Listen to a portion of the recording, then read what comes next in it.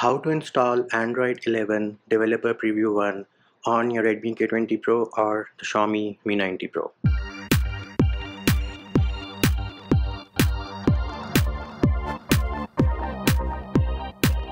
If you haven't already subscribed, make sure you subscribe to the channel and click on the bell icon to get notified of new videos. Hey peeps, what's up?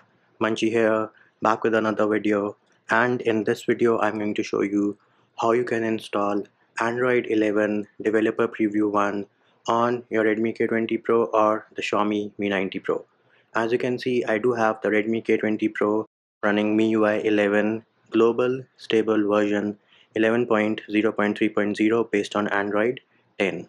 What are the prerequisites for this video? The prerequisites for this video are you need to have an unlocked bootloader, then you need to have TWRP recovery installed. How do you do that? I have separate videos for both of those which are linked in the description of the video. Also make sure your battery is charged at least 50 to 60%.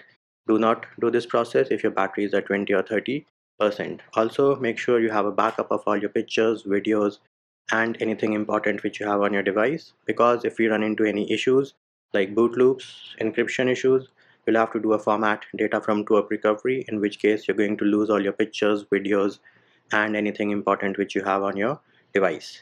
Next thing, make sure that you are running MIUI 11 based on Android 10 on your Redmi K20 Pro or the Xiaomi Mi 9T Pro. If you are running MIUI 11 based on Android Pie, then I'm not sure whether this process will work for you or not. Another thing you need to ensure is that your device is decrypted. How do you find that out? You can go into settings, password and security, and then you'll go into privacy encryption and credentials tells me that my device is not encrypted or phone not encrypted. How do you decrypt your Redmi K20 Pro? I have a separate video for that as well which is again linked in the description of this video. First thing we need to do is we'll go into settings, password and security and remove your password, fingerprint unlock and face unlock. Once you've removed the security measures, go back, go into Mi account and remove your Mi account. Once that is done, go back, go into accounts and sync and remove your Google account. Once you've removed all the accounts and security measures, reboot your device once. I repeat, make sure that you have rebooted your device once you've removed all the accounts and security measures. Why are we removing all the accounts and security measures?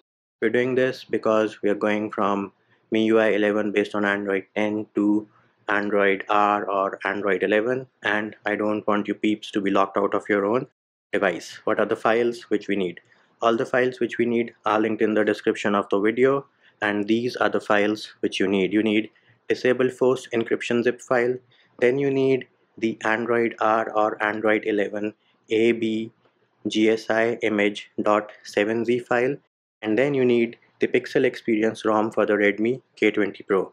Other than that, you also need an application called ZArchiver. We need this application because the Android R or Android 11 GSI is in .7z format which cannot be flashed from TWRP recovery and we have to extract it. So all you need to do is tap on the file, select extract here and then we need to wait for the extract process to finish. Once the process has finished successfully, you will see that we now have the Android R or Android 11 .img file and this is the file which we need to use. Next thing we need to do is boot into TWRP recovery for that, the first thing we need to do is turn our phone off. Once our phone has turned off, press and hold volume up and power button at the same time till you see the TWRP recovery boot logo. Once we have booted into TWRP recovery, we'll go into wipe, select advanced wipe and select Dalvik cache and data. Yes, those are the only three partitions which we need to select. Dalvik cache and data. We are not going to select system and vendor. Once that is done, you need to swipe to wipe we are getting an error that unable to decrypt FBE device and you can just ignore this error. It is in no way going to affect our flashing process. Once that is done we'll click on the home button go into install and now you need to navigate to the folder where you have downloaded the zip files and where you extracted the android r or android 11 gsi image file. In case you did that on your phone directly they will be in the download folder. In my case i've created a separate folder called r the first file which we need to flash is the pixel experience file. So we'll select the file and then swipe to confirm flash. Once the zip file has installed successfully, click on the home button and then we will click on install and the next file which we need to select is the disable force encryption file. Select the file and then swipe to confirm flash. Now once disable force encryption file has installed successfully, make sure that it is patching some fstab file. If it is not doing that, that means no fstab was patched and your device will get encrypted. In that case, you'll go back to the home screen go into mount make sure vendor is mounted in case it is not and then flash the file again at this point we have successfully flashed the pixel experience rom on our device and what we need to do next is select reboot and then select system and there it is we are on the setup screen of pixel experience we need to do the initial setup but we'll skip everything real quick. We just need to go till the home screen of pixel experience rom. And there it is. We are on the home screen of pixel experience. We can go into settings and then we'll go into about phone. And if I tap on the Android version you can see that I am running Android 10 on my Redmi K20 Pro. Next thing we need to do is we'll boot back into TWRP recovery. So we're going to turn our phone off. Once the phone has turned off press and hold volume up and power button at the same time till you see the TWRP recovery boot logo. Once we are in TWRP recovery we'll click on install and then click on install image and that should show the .img files. We're going to select the Android R or Android 11 developer preview 1.img file on the next screen select system image and then swipe to confirm flash. Once the file has flashed successfully all you need to do is click on reboot system and there it is you can see that our camera popped up and that is because we just flashed Android R system image.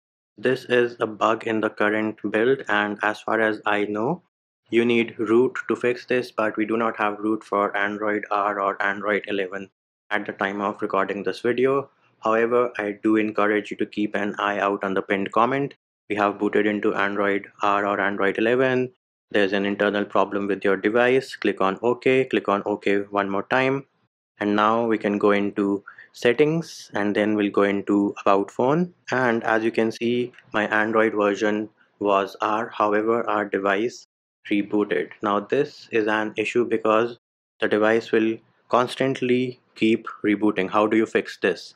To fix this, what you need to do is you need to boot into TWRP recovery forcibly. How do you do that? Just press and hold volume up and power button at the same time and keep it pressed till the device turns off and boots into TWRP recovery automatically. Once we have booted into TWRP recovery, we'll go into mount and select system and vendor. Once that is done click on the home button go into advanced file manager scroll down we'll go into vendor and then we'll go into a folder called overlay. Click on the check mark button on the bottom right and select delete swipe to confirm. Once that is done click on reboot system. Back into android 11 we'll click on ok. Click on ok one more time. And then we can go back into settings and then we'll go into about phone. And if I click on the Android version it is Android version R. If I tap on the Android version nothing happens. Looks like Google doesn't have an easter egg for Android 11 right now. Sim manager keeps on stopping. Just need to ignore it. Click on close app. And as you can see the front camera is also popped out or popped open. As I mentioned earlier for that we would need root to fix that. As for what is working what is not working I just got Android 11 developer preview 1 to boot on the Redmi K20 Pro. I will play with it for some time and then keep on updating the current status in the pinned comment. So again make sure you keep an eye out on the pinned comment and read it because if we do have any patches which we come up with those will also be mentioned in the pinned comment and there it is peeps that is how you install Android R or Android 11 developer preview 1 on your Redmi K20 Pro or the Xiaomi Mi 9T Pro. Hope my video helped you. Likes, shares and subscribes are appreciated. Feedback and comment more than welcome. See you when I see you.